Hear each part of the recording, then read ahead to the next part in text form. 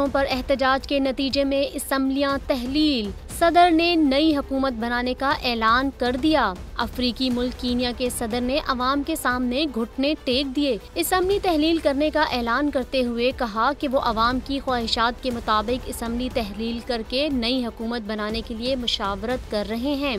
Kenya के सदर ने आवाम से दरख्वास्त की है कि वो किसी भी किस्म के एहतजाज से गुरेज करें और कानून को मत तोड़ें। अफ्रीकी मुल्क कीनिया इस वक्त संगीन मुआशी मसाइल से दो चार है। इस पर इस वक्त अठहत्तर अरब डॉलर का कर्जा है, जबकि रवा साल कीनिया का मालियाती खसारा चार अशारिया छः फ़ीसद हो जाने का इम्कान है। इस अमली तहरील करने का फैसला उस वक्त सामने आया जब कीनिया में लगाए गए नए टैक्सेस के बाद आवाम ने बड़े पैमाने पर एहतजाज करते हुए हुकूमत से मुस्तफ़ा होने का मुतालबा किया।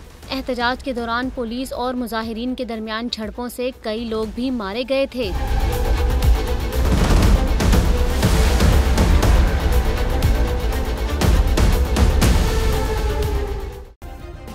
सब्सक्राइब करें और बेल दबाएँ ताकि कोई खबर रह न जाए।